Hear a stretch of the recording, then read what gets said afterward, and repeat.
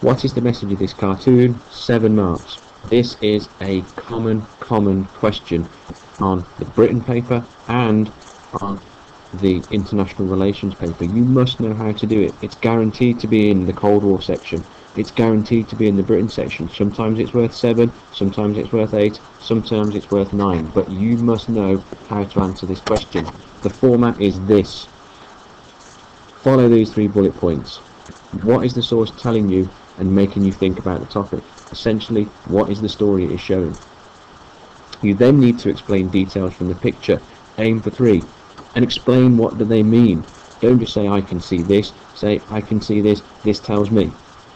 Give the context of the source, what is going on at this time in history. Show the examiner that you can link this picture back to what is going on at the same time.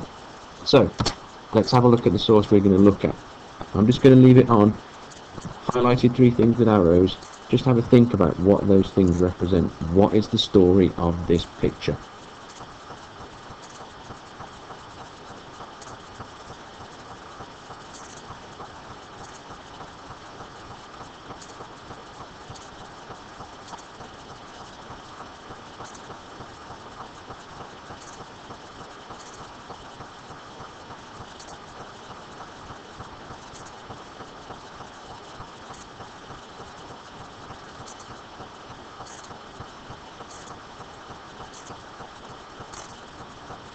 Okay, no, I didn't go anywhere. I just thought I'd leave you to think about that. You're not going to get to see the sources in the exam until you open the exam paper, so you've got to get used to seeing a random picture and picking out the key things. Now, I've obviously given you three arrows. I'm helping you a little bit. But what do these arrows mean? What are we saying underneath them? So we've got a picture of this guy here. You've got to know who the characters are. You've got to know what's going on. I mean, this is about the Cuban Missile Crisis. So we must know that that must be Kennedy. That is Castro. That is Khrushchev. You've got to know who these people are. You've got to know what they look like. You've got to know the key characters. So what does it mean? Why are they drawn in the way they are? Well, Kennedy is dressed in white and he looks clean cut. In the movies, the good guy is always in white. Kennedy's in white, nice light colours. He's the good guy. This tells us it's an American cartoon.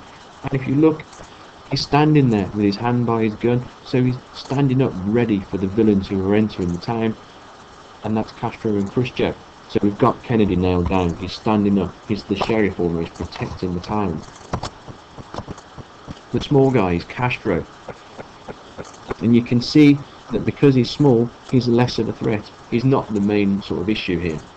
And look at him, he's on a donkey, a hairy donkey, and he's dropping his gun and this makes him look comical. So the artist is also sort of undermining Castro by saying, yeah, he's a villain, but he's not the big threat. So then, who is the big threat? Well, I mean, you can just see, look at this picture of Khrushchev. Just look at the way he looks. He's sort of arms by his side. He looks quite muscular. He looks like a gorilla. But Khrushchev is in black like a bad guy, just like in Hollywood films at this time and still today. He's larger than Castro, so he's clearly the real threat and he's behind Castro, so he's backing him up. Castro is confident in challenging Kennedy because he's got Khrushchev behind him. So how are we going to start applying those three pieces of detail to this source?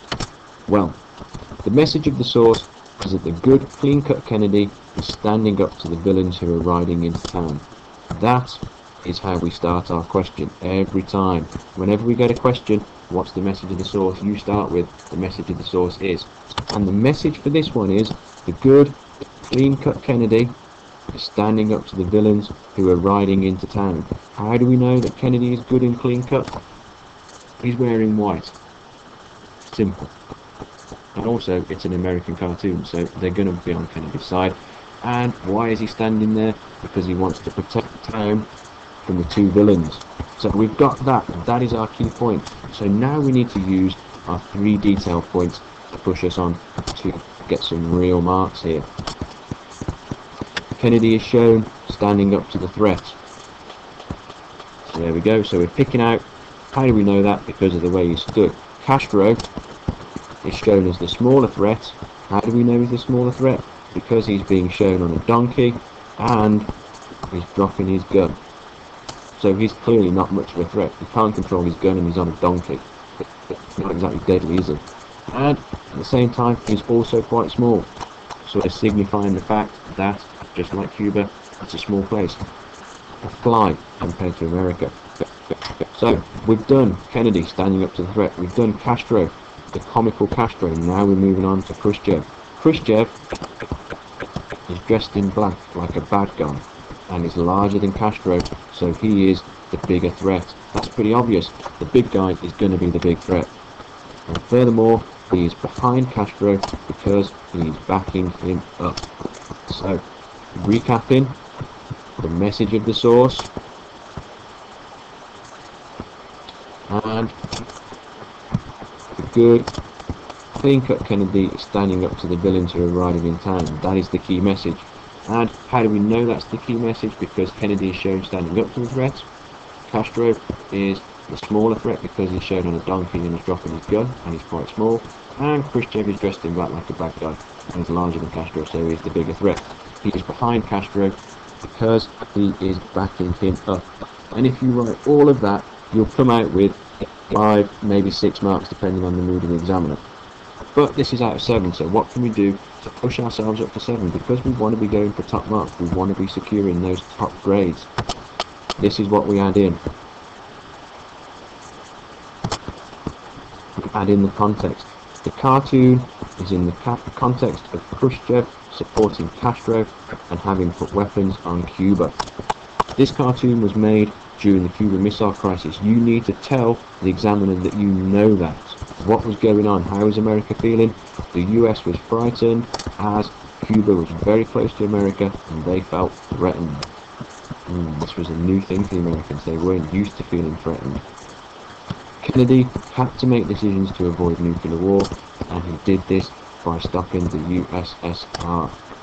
Now this is interesting because you don't have to go into masses and masses of detail about the Cuban Missile Crisis. That's going to come in your next sort of question on the exam paper, but you do need to set the scene, and that is how you set the scene. So, breaking this down, there's your start. The message of the source is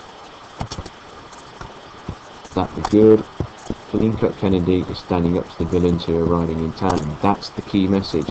How do we know that's the key message? Because, mm, the same colour before, Kennedy is shown standing up to the threat. Castro is shown as the smaller threat because he's been shown on a donkey. And he's dropping his gun. He's also quite small. You could add in the fact that it's comical. Khrushchev is dressed in black like a bad guy and is larger than Castro, so he is the bigger threat. He's behind Castro because he is backing him up. Moving on to the context. The context of the cartoon is that Khrushchev is supporting Castro and has put weapons on Cuba. This frightens the Americans and they feel threatened. So Kennedy has to make decisions to avoid nuclear war and he did this by stopping the USSR. So, whatever you take from this, there are three stages. The message, the detail, the context. The message, the detail, the context. Whatever the source, the question is, what is the message of the source? You do. The message, the detail, the context.